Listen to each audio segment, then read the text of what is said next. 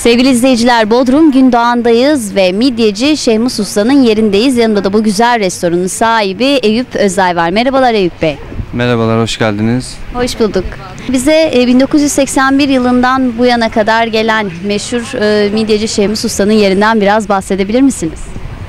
Ee, tabii ki e, 1981 yılından beri aslında daha eskiye dayanıyor. Ee, 1978'lere falan dayanıyor. Babamın bu işe başlaması ve ailece hani bu işi yapmamız e, ve daha sonra bu işi geliştirmemiz ve bu seviyeye getirmemiz e, yani elimizden geldiği kadar müşterilerimize daha iyi e, hizmet vermek için hani şey, Şemus'ta ismini, logosunu bir marka haline bir e, iyi bir e, seviyeye getirmek için uğraşıyoruz.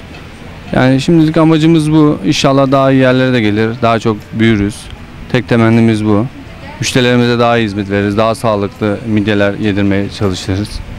Peki e, menünüzde normal klasik midye dolma haricinde diğer e, lezzetleriniz de var. Onlardan da biraz bahsedebilir misiniz izleyicimize? Tabii ki midye e, çeşitlerimiz midye dolmadan hariç hani Türkiye'de e, bir ilk yani midye restoranı olarak hani her şeyimiz midye üzerine kurulu. Hatta midye menümüz bile yani hepsi midye şeklinde.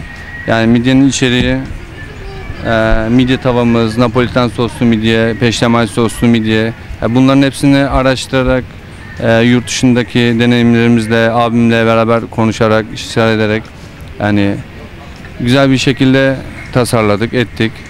Yani bütün müşterilerimizi bekliyoruz inşallah. Eyüp Bey çok teşekkür ediyorum. Biz teşekkür ederiz. Sefa getirdiniz.